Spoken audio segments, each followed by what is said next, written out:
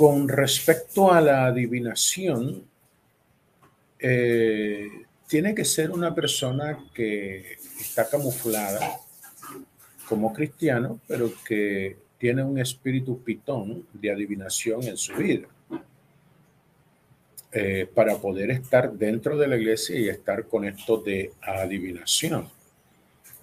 Eh, a veces, a veces hay ministerios proféticos que tienen don de ciencia, que es un poco parecido, porque el don de ciencia capta eh, la vida pasada de la persona, la vida presente y el futuro de la persona.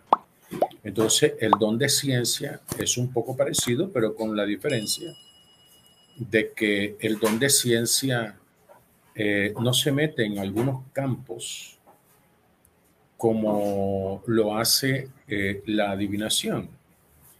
Eh, la adivinación, tú sabes que necesita instrumentos para poderse practicar, como la mano, el café, las cartas y cosas así por el estilo. Necesita un elemento que le ayude de complemento, mientras que el don de ciencia no. El don de ciencia es algo espontáneo que le llega a la persona con respecto a otra. Entonces, por ese lado no.